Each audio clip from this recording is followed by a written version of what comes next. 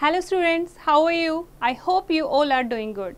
Today we are starting a chapter which name is Life in Tropical and Subtropical Regions. And what we will study in this chapter about the Amazon basin and the Ganga Brahmaputra basin.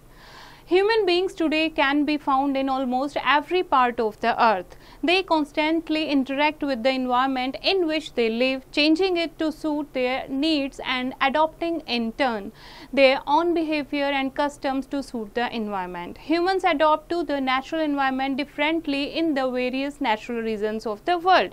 As you know, ऐसी कोई सी कोई भी ऐसी जगह अर्थ पर नहीं रही है जहाँ पर ह्यूमन बींग ना हो ठीक है human being mostly every part of the earth जो है वहाँ पर रहने लगे हैं उन्होंने खुद को जैसा वहाँ का इन्वायरमेंट है वैसा ही खुद को अडॉप्ट कर लिया है, ठीक है? हैबिटेट कर लिया है यूज़ टू कर लिया है और उसी इन्वायरमेंट के अकॉर्डिंग अपने कस्टम्स जो हैं, अपना बिहेवियर जो है, वो चेंज कर लिया है।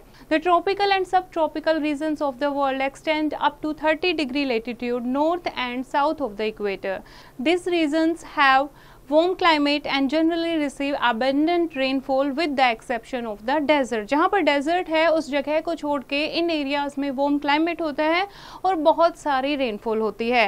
The Amazon basin lies in the tropical zone on both sides of the equator up to 15 degree north and south latitude ऐसे ही अमेजोन बेसिन की हम बात करेंगे जो इक्वेटर के दोनों साइड में, यानी कि zero to 50 degree north and zero to 50 degree south of latitude lie करता है।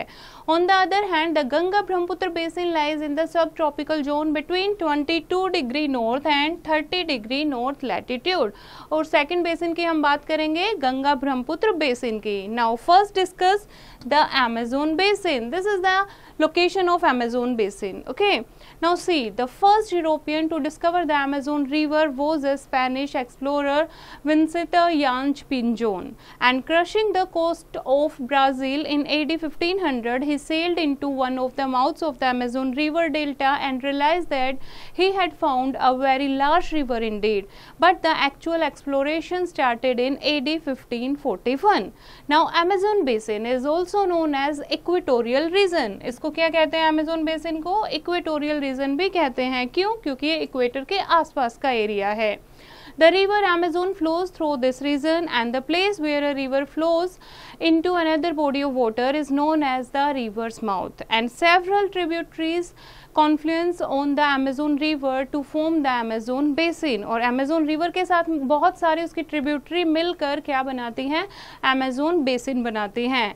It rains parts of Brazil Peru Bolivia Ecuador Colombia and small part of Venezuela and the Amazon which originates in the Andes mountain west of the basin is the second largest river in the world Amazon river is the second largest river in the world it flows for a distance distance of about 6400 kilometre before draining into Atlantic Ocean और Atlantic Ocean में ख़त्म होने से पहले जो ये river है, ये कितनी लंबी है, कितनी लेंथ है इसकी? 6400 kilometre okay the Amazon and its tributaries contain the largest volume of water the Amazon accounts for nearly 20 percent of the total water carried to the oceans by rivers. And the basin has been filled by sediments brought down by the river and its many tributaries अब basin है, इस, ये कैसे बनता है ये basin जो Amazon और उसकी ट्रिब्यूटरी है, अपने साथ बहुत सारे सेडिमेंट बहा कर लेकर आते हैं, ये सारे यहाँ पर जम जाते हैं और उसको एक बेसिन की फॉर्म में कन्वर्ट कर देते हैं।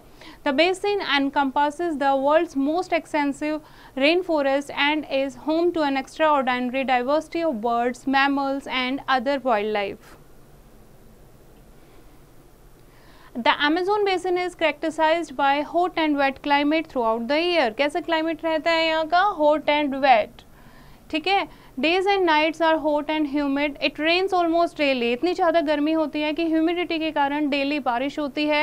At night the temperature goes down but the high humidity makes the climate unfavourable for human being रात को जो टेम्परेचर है वो थोड़ा डाउन हो जाता है, लेकिन इतनी ज़्यादा ह्यूमिडिटी हो जाती है कि लोगों का रहना भी मुश्किल हो जाता है। Next is flora and fauna Amazon forest जो है, यहाँ पर बहुत सारी वेजिटेशन पाई जाती है क्योंकि बारिश बहुत ज़्यादा होती है। The Amazon basin has a dense cover of tropical rainforest और selva These forests have several layers of vegetation. Here thousands of aspects of trees like silk cotton, wild rubber, palms and hardwoods grow so thickly that almost no sunlight reaches the ground. इतने घने जंगल होते हैं पेड़ इतने बड़े होते हैं कि ऊपर से आपस में ऐसे टच हो जाते हैं कि सनलाइट भी उसको पास नहीं कर पाती Shade tolerant mosses and ferns grow on the damp ground and on the trunks and branches of trees. Thick woody vines known as lianes and climb up the trunk of tall trees. और बड़े बड़े पेड़ों पर bell जो हैं ठीक है wines जो हैं वो चढ़ने लग जाती हैं the Amazon forest yield various products trees such as mahogany Amazonia cedar ebony and rosewood provide excellent timber यहाँ के जो पेड़ हैं वो काफ़ी वैल्यूएबल होते हैं the Carnauba palm yield wax which is used for making polishes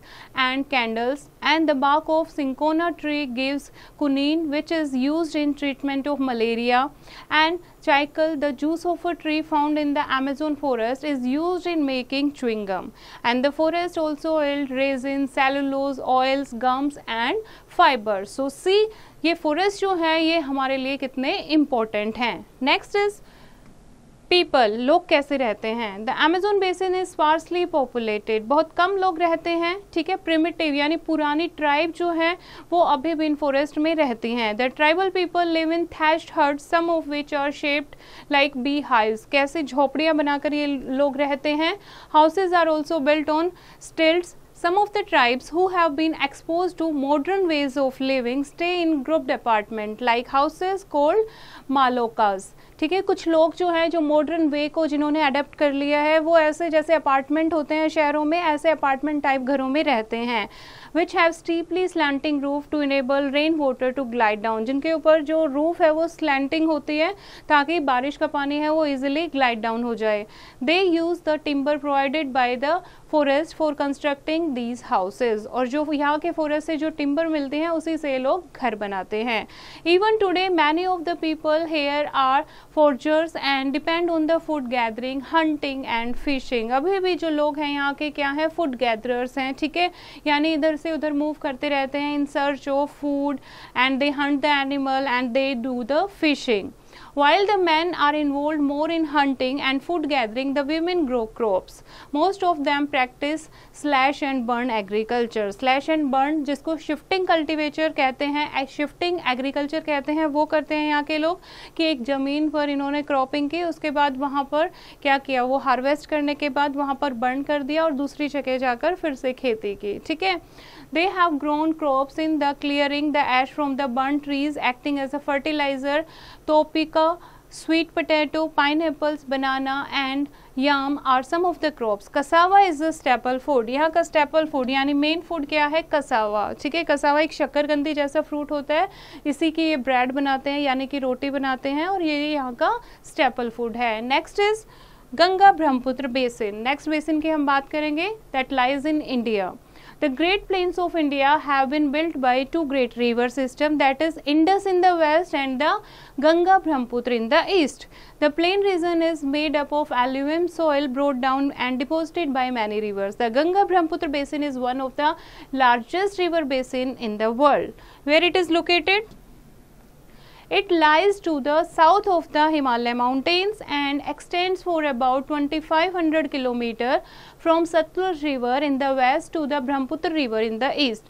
Its width varies more about 100 km in Assam to about 400 km in Ganga plains. All over the world, the alluvial plains have supported great civilization. Both the Indus and the and the Ganga civilization started and progressed in the northern plains of India. जो early civilization थी वो यहीं से start हुई थी and the growth and success of these civilizations were due to surplus agricultural civilization supported by fertile soil suitable climate and enough water supply और ये civilisation कैसे आगे तक कंटिन्यू रही? Because of the surplus agriculture क्योंकि यहाँ की land बहुत फर्टाइल है, यहाँ पर एग्रीकल्चर करना आसान था तो एग्रीकल्चर सालों साल तक कंटिन्यू रही और इस तरीके से ये पुरानी सिविलाइजेशन जो है, ये आगे तक चलती रही। The Ganga river is formed by the merging of Bhagirathi which originates from the Gangotri glacier at Gomukh and Alaknanda from the Alkapur glaciers. The Ganga 2500 km long is the longest river in India and the Ganga river is joined by many tributaries such as Yamuna, Ghaghar, Gomti, Gondak, Kosi, Tista etc. from the north and the Chambal, Sindh, Betwa, Son, Damodar etcetera from the south इस तरीके से Ganga river के बहुत सारी tributaries हैं the Ganga river system drains most of Uttarakhand कौन कौन से एरिया में है गंगा जो है गंगा का पानी आता है Uttarakhand Haryana Uttar Pradesh Bihar and West Bengal. The Ganga river flows from a relatively dry area to a region of increasing rainfall. This helps most of the tributaries to reach the course of the Ganga that is the deltaic region. The Brahmaputra river also rises from a glacier near the Mansarovar lake in Tibet. Brahmaputra river कहाँ से Ganga river होती है, हिमालय से, ठीक है, Gangotri glacier से, Brahmaputra river कहाँ से ओरिजिनेट होती है? That is originated from a glacier near the Mansarovar lake in Tibet it is known as Tsangpo in Tibet और तिब्बत में इसको किस नाम से जाना जाता है? सांगपो ठीक है? The river flows eastward for a considerable distance and enter into India through Arunachal Pradesh उसके बाद अरुणाचल प्रदेश से होते हुए इंडिया में एंटर करती है इंडिया में इसको किस नाम से जाना जाता है ब्रह्मपुत्र से The large amount of sediments carried by the river are deposited in India. The plain thus formed in Assam extends for about 640 km with a general width of about 100 km. The Ganga and Brahmaputra river join together in their lower course before falling into the Bay of Bengal, जहाँ पर ये दोनों river मिलके world most fertile delta बनाती हैं, जिसको क्या नाम दिया गया है? सुंदरबन डेल्टा क्योंकि यहाँ पर जो ट्री पाए जाते हैं दैट आर सुंदरी ट्री ठीक है? इसीलिए सुंदरबन डेल्टा इसका नाम है। वर्ल्ड का सबसे फर्टाइल सबसे largest delta the major part of this delta now now lies in Bangladesh. Next is climate. This basin has a typical monsoon climate with hot summer and mild winter. Winds bring rainfall between June to September. Monsoon type of climate है winds अपने साथ पानी बारिश लेकर आती हैं जून to सितंबर के महीने में The rainfall is heavy in the Brahmaputra basin and eastern Ganga basin. Now next is flora and fauna.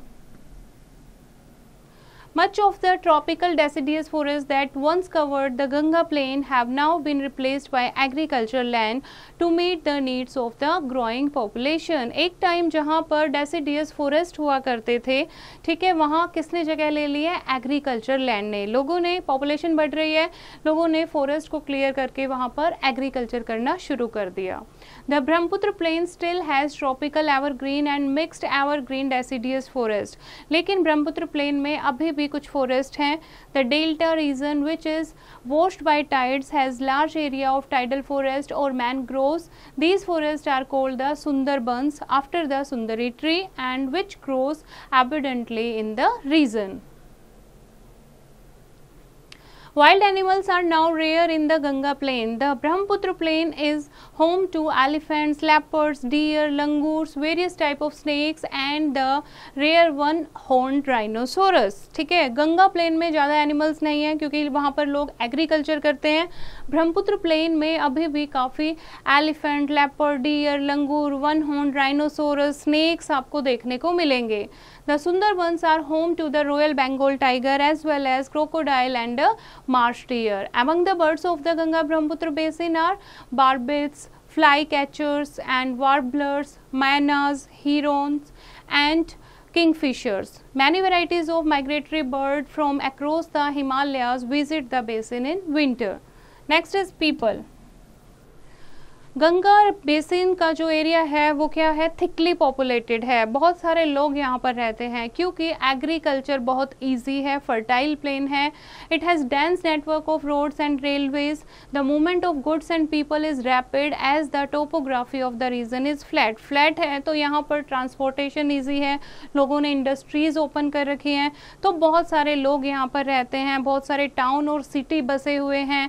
Delhi the national capital territory is also located located in the plain and the other well-known cities along the Ganga are Kanpur, Patna, Allahabad, Varanasi and Kolkata. Wheat, rice, sugarcane and jute these are the extensively grown here. ठीक है main crops हैं ये two main crops of the region are the rice in kharif crop in summer and the wheat in rabi crop in winter. ये दो क्या है main crop हैं that is rice and wheat. At times a third crop called Jayad crop is grown between April and June if water is available. There exist even several agriculture industries related to farming activities.